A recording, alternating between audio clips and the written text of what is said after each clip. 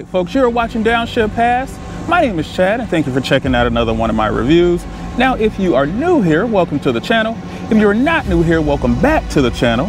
And guys, let's go ahead and hop right into it. Today, we're taking a look at this hot 2021 Acura TLX A-Spec.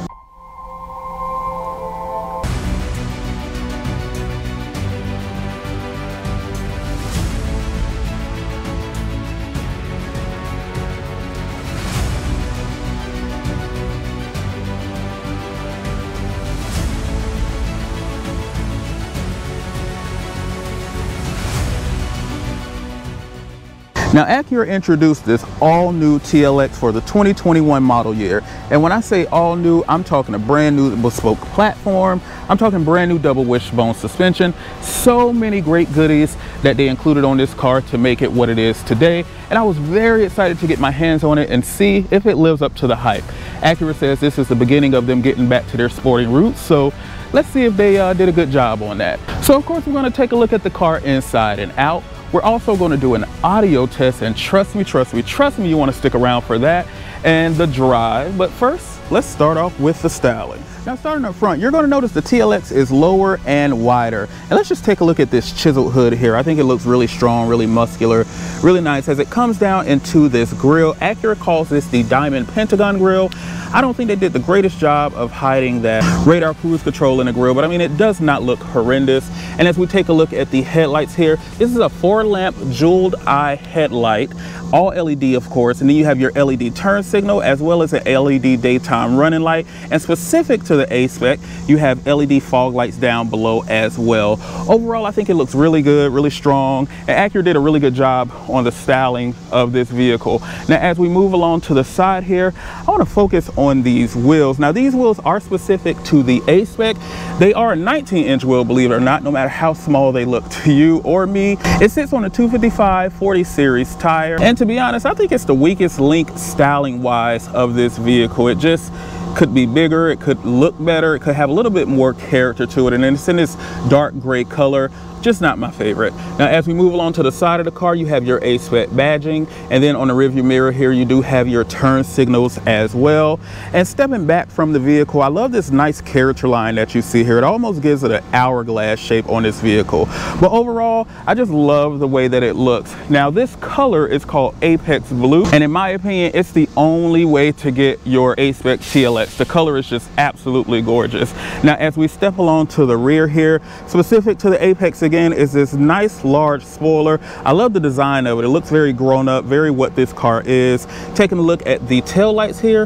This is an LED tail light as well as an LED turn signal, which looks really, really good. You have your A-Spec badging, TLX badging as well. And as we come down below, you do have your dual outlet exhaust here. And speaking of exhaust, let's go ahead and take a listen.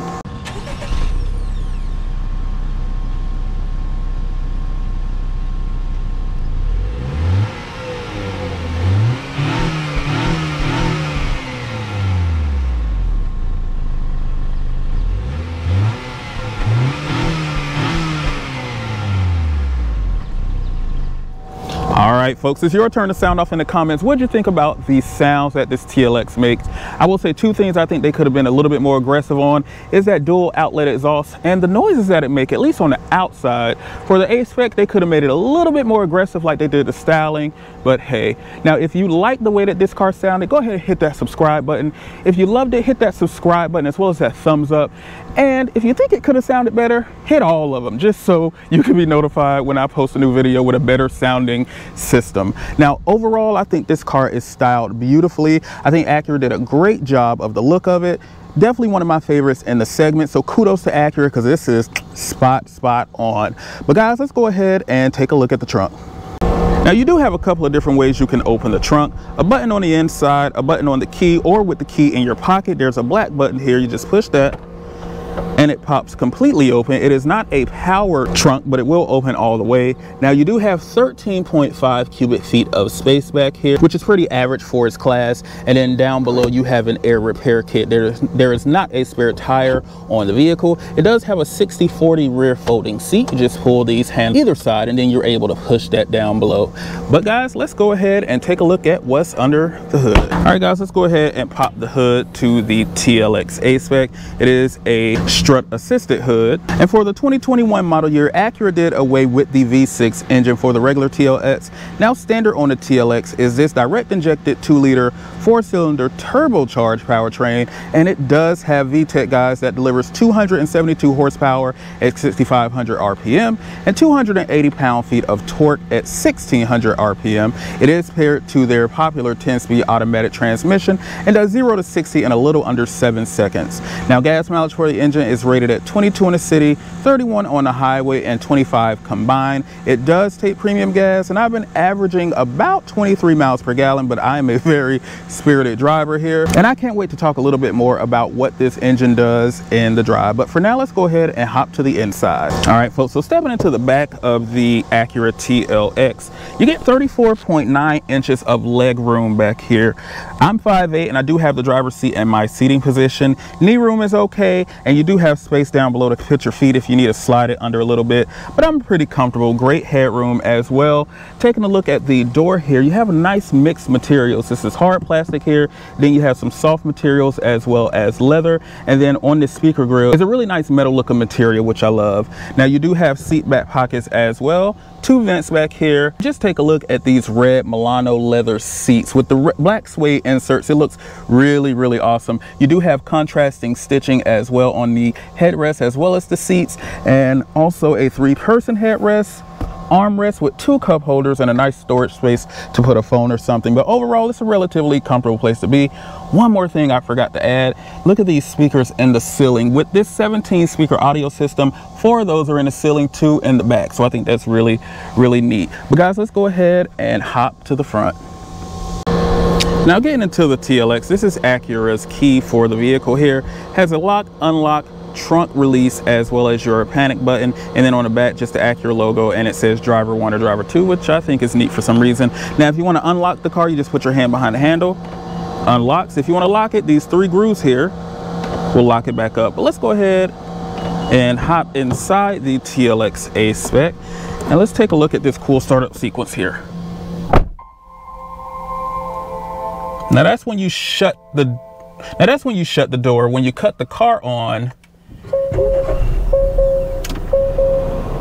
it does that nice little sequence there which is really neat. Now, now coming along to the door here again the materials are a mixed bag. This is a little harder plastic. Then you have some nice patterned material here and down below you have a softer black leather and then this red leather where your arm touches is really soft. Of course you have one touch up and down window for front as well as back and then on the side here is your buttons that you normally don't use all the time your traction control parking sensors the Acura watch system and everything else.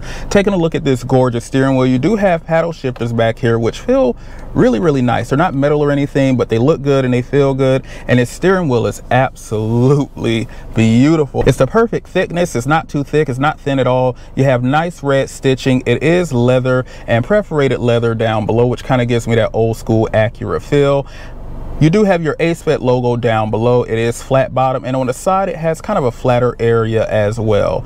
Now you do have a bunch of buttons on the left side as well as the right side. It's a little confusing to be honest. Not my favorite thing about the car, uh, but your volume controls, you can cut the stereo off, so a power button, which is really weird for some reason.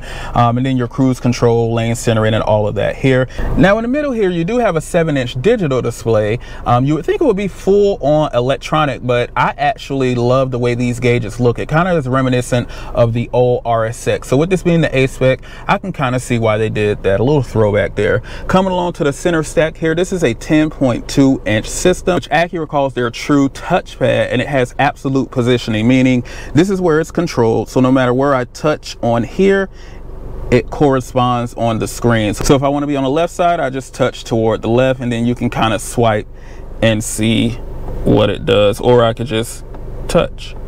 And I love the noises that it makes.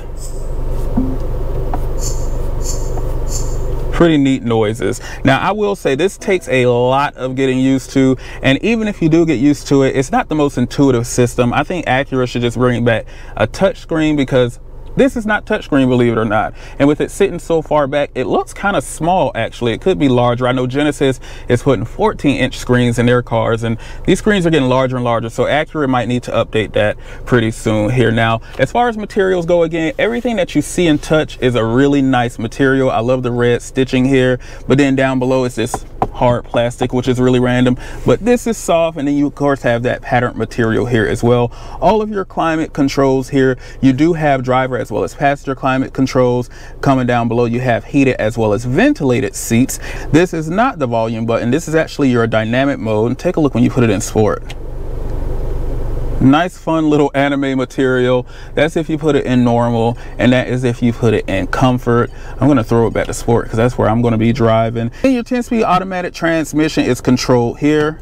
You have your reverse and there's your reverse camera. It does have trajectory as well as sensors back there so it'll beep and everything. And then you do have different angles to choose from. So if you go down this is going to be your wide angle here. This is going to be your um, having a hard time with this touchpad. This is going to be your standard angle, and then this is from the top down, and it does have rear traffic alert that you could cut on and off as well. I do wish it was the full screen, but on this side is where your sensors are showing on the car, and on the left side is the camera. I think it still could be the whole screen, but you know, what do I know? And coming down below, you do have the true touchpad system here, and then your volume as well as your tuning buttons here. Now, this looks like it could be a transmission or something out of an Audi, but it's actually just a place place to put your hand. So I'm happy that they included a nice um, soft leather material here to put your hand. Two cup holders as well. And then you do have a wireless charger as well. And then in here, you do have nice storage compartment. I love that it has the rubber flooring here so things won't rattle around.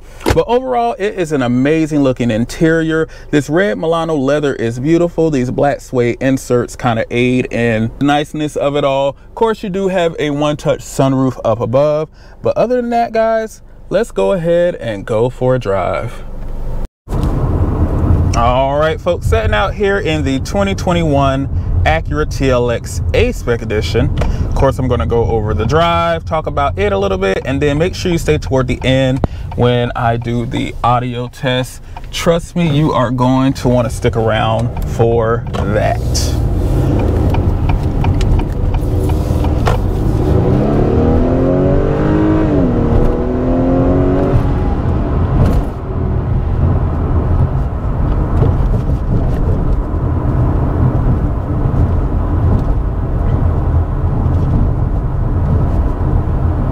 I'm really excited I was able to get my hands on this vehicle. I had so many expectations, very, very high expectations for this car. And I'm just gonna start up front and be up front with you guys. It's it's not what it seems especially in the a-spec guys. I think i was expecting something a little bit more sporting uh, but we'll definitely get into that when i get onto the highway and especially these acceleration runs. Now the car definitely feels very composed in its normal setting. Right now i have the drive or the dynamic mode in its normal mode. You have the option of comfort normal as well as sport. I have it in this normal mode and i'm going to keep it there for now. And when i get on the highway i'll go ahead and put it in the sport mode. All right so we're going to get a little merge action getting onto the highway here. I'm going to go ahead and turn this dynamic mode into the sport mode and the transmission in the sport mode as well. And the car instantly becomes a lot more aggressive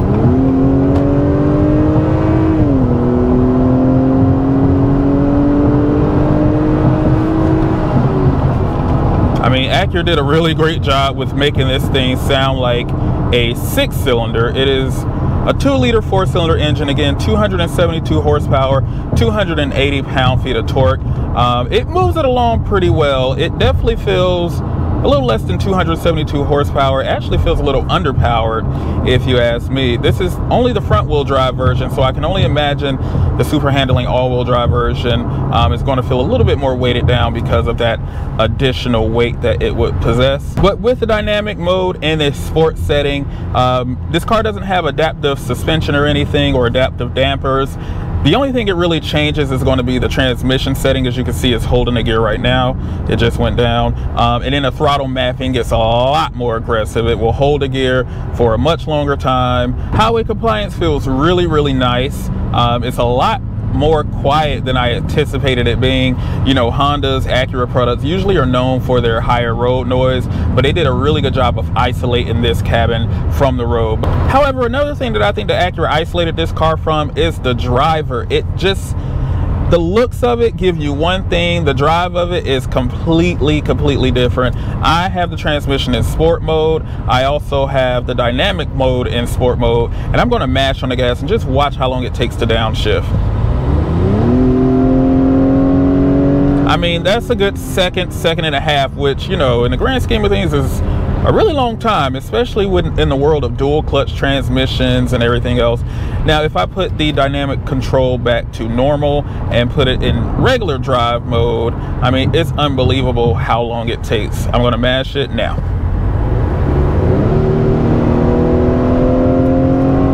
I mean, it's almost laughable how long this transmission takes.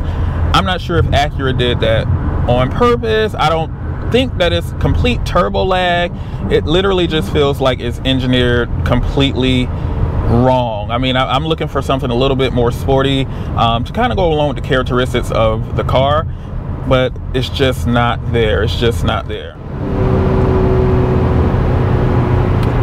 Now going into this turn here, I'm going to downshift with the paddles not too quick to downshift, but let's see what we have. Lots of tire squeal, lots. Oh no.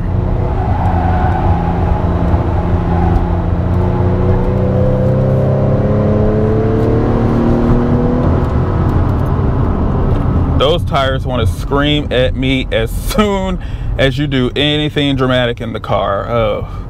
I, I really wasn't expecting that. I'm hoping that the all-wheel drivers be able to do a little bit better. The best way I can describe the handling of this car is it's almost like the car the front end just doesn't know what the back end is doing. The front end feels like it wants to plan itself. The back end feels like it wants to squirrel around. Take this out manual mode. The back end feels like it wants to squirrel around a little bit. It just feels like they're disconnected for some reason. And then as you're steering you feel a little bit disconnected. There's not a lot of road feel. You kind of just going along with what the car is doing. And it's like you're at the mercy of what the tires can do. I'm sure this car could use a lot more aggressive tire than the uh, Potenza that's on it right now. A little disappointing if you ask me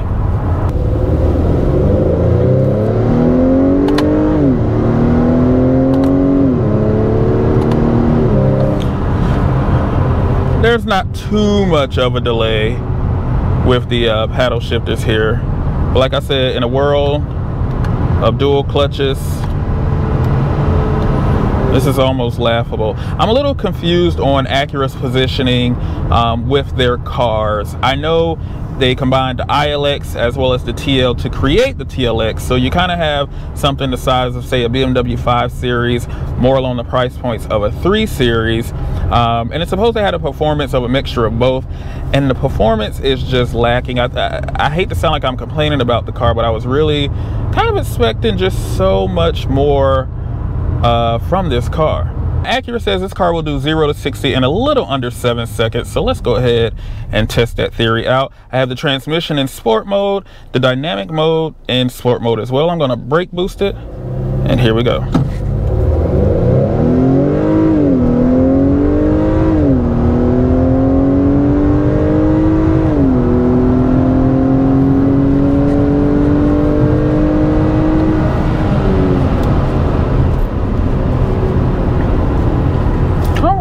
Okay not bad all right guys so the moment you all have been waiting for the stereo system in this car is an els tuned it's an ELS Studio 3D audio system.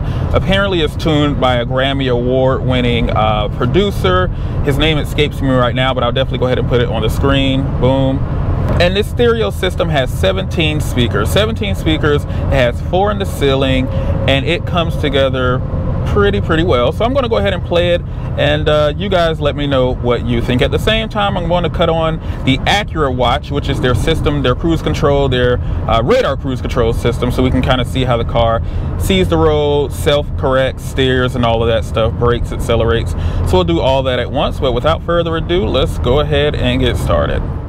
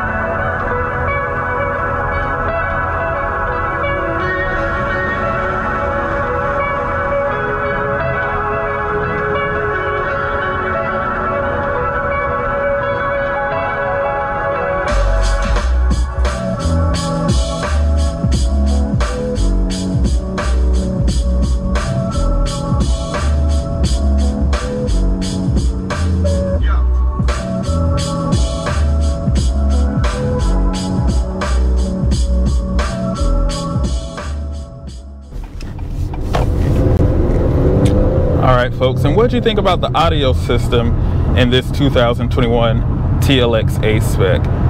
I'm going to be completely honest with you. This is the best audio system I have ever reviewed on my channel. Now, I have been doing this for a little less than a year. Well, for less than a year.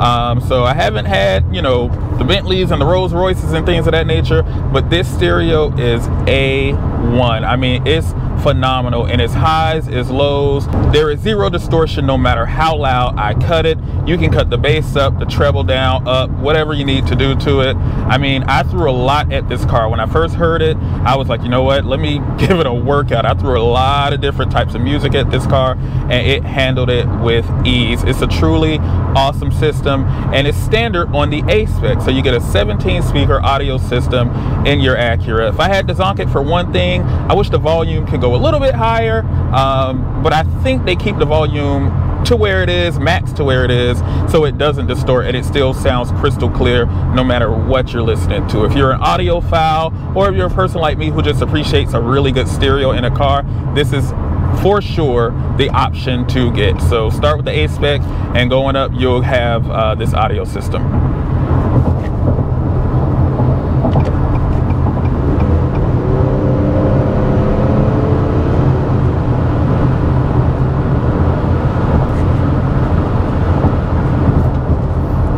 Yeah this front end and back end is just not connected. You can tell the car can do it but I don't feel confident doing it. It's, it's really weird. It's weird. The brakes are really strong though. And just rolling into my final thoughts here guys on the 2021 Acura TLX this car is my feelings are a mixed bag kind of like the materials in this car. Um, the look of it kind of gives you one thing. Everything that Acura spoke about the vehicle you kind of expect one thing but the complete feel of it all is just not there. Doesn't necessarily feel super composed in the corners. The luxury could be a little bit more elevated. I really don't know if acura was looking more toward luxury or sport. It does neither the best um, and it, it does everything just okay. But I think in the company that this car is in, okay is just not good enough. So, you know, I mean, they do have the TLX Type S, which will probably answer a lot of the questions I have as far as the power and transmission goes. Um, but the luxury side of things, I don't think it would be any different, but that's more of a hardcore sports sedan. This particular one, I think is meant to be more luxury and with this injected sport look it just doesn't have the injected sport feel. And, and, for that i'm really not sure who i would recommend this car to. I mean honda has the honda accord touring uh, and if you get that with the two liter engine you get something faster. You get pretty much the same feature set. The only thing you're going to be missing is uh, the great audio system and it's going to be a lot more quieter than any honda that you know i've ever driven. But other than that it, this would be a hard tough sell especially for $45000 unless you just need that luxury nameplate but that is it for my review of the 2021 Acura TLX A-Spec. I hope you enjoyed it. Go ahead and hit that subscribe button as well as that like button if you learned something new today. And hit that notification bell if you want to continue learning new stuff. Uh, also follow me on Instagram, TikTok. Can see all behind the scene footage of what we're doing over at Downshift Pass. But I'll see you guys in the next video. Thanks. Bye-bye.